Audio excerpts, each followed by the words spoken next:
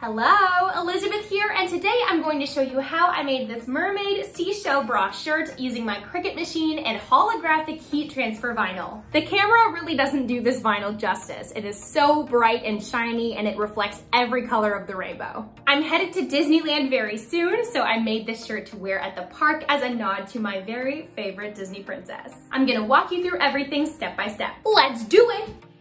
First, I created the design for this shirt in Canva, which is a free online platform. It's super user friendly and I highly recommend it if you're looking to create your own designs. I found this shell graphic in the Elements library and changed the brighter pink outline to be white. Then I tilted it on an angle and duplicated it to be mirrored on the other side.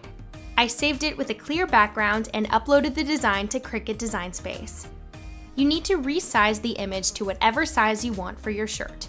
I used a measuring tape to measure the space on the t-shirt I'll be using.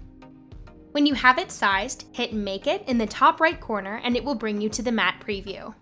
A very important step whenever you're using heat transfer vinyl is to turn on the mirror toggle in the left toolbar, which will flip your design.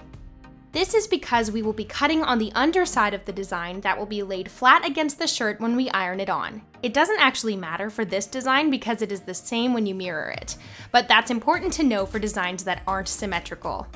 When you're ready, hit continue, connect your machine, and then you want to set your base material to holographic iron-on vinyl or whatever you're using. I usually select more pressure to get a nice clean cut. Make sure your fine point blade is loaded in your machine and then you're ready to go. I found this holographic iron-on vinyl on Amazon. It's mainly silver, but it's extremely reflective and shines every color of the rainbow. Always lay your iron-on vinyl shiny side down on the cutting mat. The shiny side is a carrier sheet that you will put your iron or heat press on top of, and we don't want to cut into that. You want to cut from the underside where the actual vinyl is, which again is why we always mirror our designs. I applied my vinyl to the cutting mat, loaded it into the machine, and started the cut. Once the cut was done, I used my hook tool to weed the design and I was ready to iron it onto my plain black t-shirt. Cricut has a heat guide on their website that gives you heat transfer instructions for whatever it is you're using. I've linked it in the description. I'm using a household iron, so I just use these instructions as guidelines, but my iron doesn't actually tell me what temperature it's at, so I just estimate and hope for the best. No disasters so far. I have this heat press mat I got on Amazon. It's not the Cricut brand one, it's a cheaper one by a different brand, and it works great. I've linked it in the description as well.